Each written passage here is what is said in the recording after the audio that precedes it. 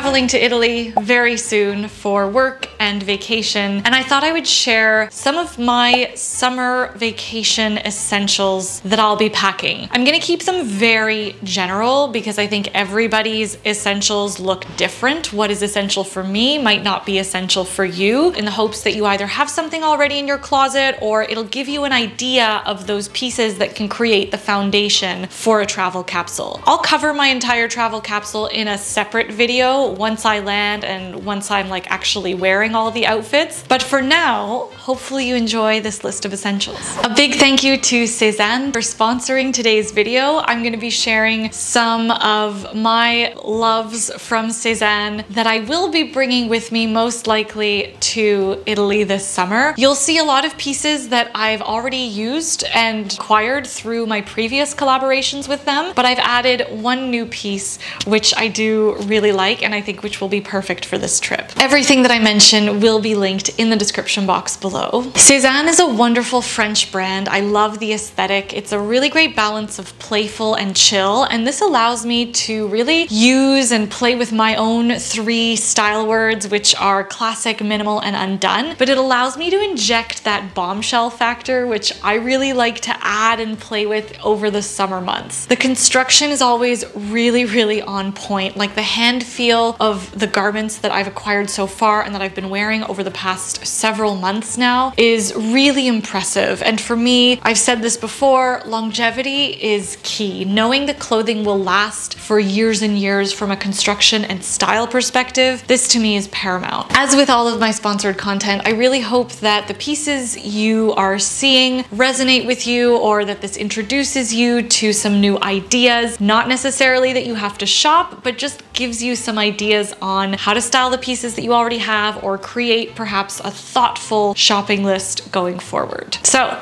let's jump on into these pieces. I feel like I don't even need to talk about these ones. I mean, it's so obvious. Linen button-ups. I don't know what I would do without these. Button-ups in particular. I'll also be bringing some cotton button-ups and I especially like the long sleeves because I get a little bit of extra sun protection. I can roll up the sleeves and they feel a little bit more evening appropriate as well as working for day. Also, the long sleeve looks fantastic as a beach cover up if needed. So I just find like a classic button-up is the most versatile in terms of essential. So for you, this might not be a button-up. Maybe it's like a tunic or maybe it's like something that has a completely different silhouette. For me, a very classic boxy button up without any darts, without too, too much tailoring works really, really well. The next item on my list was a bit of a surprise to me, but I remember when I was traveling, I wore this super lightweight v-neck so often. It's so elegant, it's so easy, but what I like about it is that it's very simple and it's got some really like easy details that also makes it good for day, but also for night. So I've got this one in white. And you've seen this one before in my last collaboration with Sézane. I found this beautiful linen tee. It's called the Milo and it's got these fantastic buttons down the front, little scoop neck, and it's a linen cotton blend. So it keeps me nice and cool. I also like that it's got a little bit of a short sleeve. I like to have a short sleeve option as well. Again, if you're traveling, if you're doing a little bit of touring, I actually don't plan on, you know, like visiting any monuments or anything. I literally just need to nap and eat a lot of gelato. But I do think if you are planning on going to see sites, having something that covers your shoulders but that is still like in a nice cool fabric can be really important. I have loved so far styling this actually with a pair of trousers and less shorts.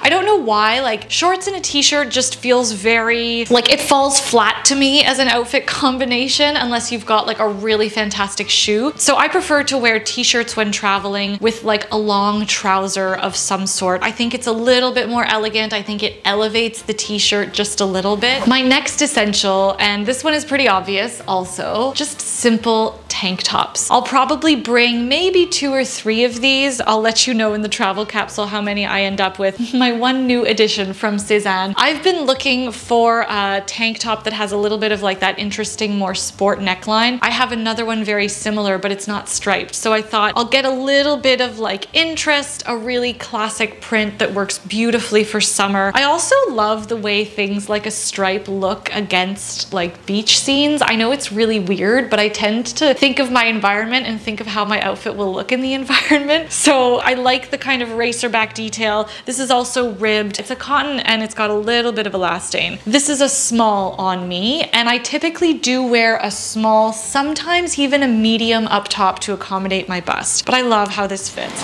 Next up is a shirt dress and I did not travel with a shirt dress last year and I remember several times being like, man, I wish I had a shirt dress. So I have this one here. This was actually my It's super light. It's like a crepe material, but it's got a really great boxy fit off the body. But what I like about it is that if I do belt it, it has that little blouson effect and I think it just looks fantastic day and night with a simple sandal. It looks really chic. I mean, shirt dresses are just like the easiest. Gosh, and I think they're just so fantastic. Also a really good beach cover up, you know? Can't go wrong. Here's another new one for me, a silk dress.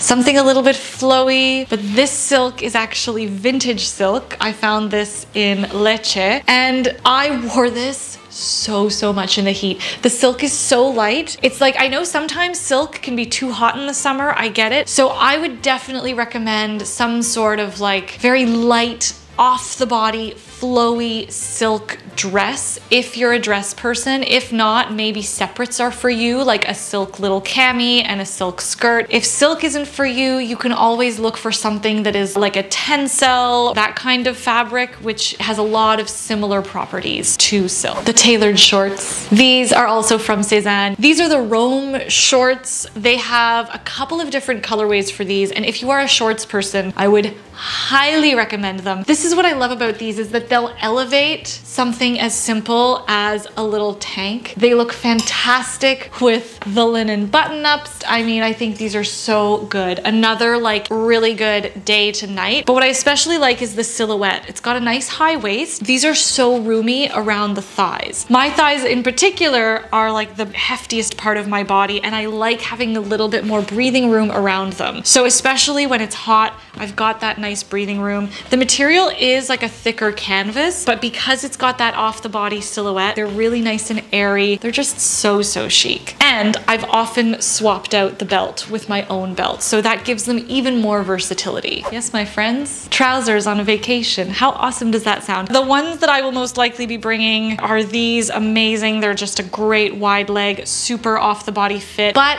I also love like a really good, easy chino. So it totally depends on the climate you're going to, your own personal style, whether you're feeling the more like sport prep or the more like Euro glam. It's gonna completely depend on you, as well as the silhouette. Like maybe you want something that's more like a little carrot leg silhouette. But I just love these wide leg. They're fantastic for like plane ride. They look chic, but they're nice and roomy and cozy and comfy. Just so easy. And speaking of Sézane, we're gonna hop on over to accessories. This was another thing that I was like, man, I wish I had one of these last year. Any bag with a little bit of like a basket or crochet detail. I think in the summer, especially when you're vacationing, I mean, it could be a big tote bag too. Sézane has a lot of really beautiful like basket tote bags that are perfect for the beach, perfect for like easy day wandering, you know, like, oh, so good. I just love the texture of this bag. I think it's like the epitome of summer. And if you're like me and a lot of your travel essentials are, you know, like these like tailored, polished looking pieces, I think anything with that straw detail will give you that more like relaxed summer, easy vacation vibe. Another way you could inject that texture is by way of a hat. I am definitely more of a ball cap person, but I do have this guy here, which I probably will pack with me. Panama hat, straw hat, whatever. This is another really fun way to inject that easy sort of summer vibe. And it also provides really good sun protection and it also just makes your look feel like a little bit more styled without trying too hard. You know what I mean? Hats always feel like they're making things a little bit more dressed. Obviously, I don't even know why I put this on the list. It's like such an obvious thing. Swimsuit. I'm actually gonna bring, I think, four bathing suits. They're tiny. They can like scrunch up into a little ball and not take up a lot of space. I only had one bathing suit with me last year. I ended up purchasing one. I love swapping my bathing suit out so that I'm not sitting around in a wet bathing suit all day at the beach. But also, I just, I spent so much time at the beach last summer that I realized I needed a few on rotation. Knowing the kind of vacation that I'd like to have, I don't think four bathing suits is gonna be too excessive. And last but not least, leather sandals. I am not normally a sandal person in general, but I've recently discovered some fantastic leather sandals which manage to look pretty chic they're easy to walk in. I think the combination of leather, which is a pretty luxurious and rich looking texture, balanced with a pretty casual sandal silhouette is a really nice combination. It's just a good marriage of style and function. I always look for like maybe a little bit of heel. I don't like sandals that are too flat, so finding something with a little bit of support is really important. But having a leather sandal in general, whatever that looks like for you style-wise, I think is a good option to have when traveling traveling. So that is what I have for you today. Merci beaucoup Sézane pour être la commanditaire de cette vidéo. All of the items that I mentioned from Sézane will be linked in the description box below. Thank you so, so much for watching. I am taking a vacation. By the time you watch this video, I will be taking a couple of weeks off, so there won't be videos for the next two weeks, but you can find me on the Sustain This podcast with the amazing Sina Henson from Use Less and Christina Mychas from Minimalist-ish. We post our podcasts every Tuesday in the morning and we talk a lot about like we dive really deep into the topics that we talk about here on the channel. So do check that out. You can also find me on the gram as I am doing whatever I'm doing in Italy. Probably it's gonna be a lot of like boring beach and gelato content content, but I mean, you know, that's just life. That's vacation life. Or I might not post at all. Life is a mystery. We will see. But I hope you're having a wonderful day, a wonderful week. I will see you in two weeks. I'll miss you, but I'll see you in the next slow fashion video. Ciao, buon vacanze!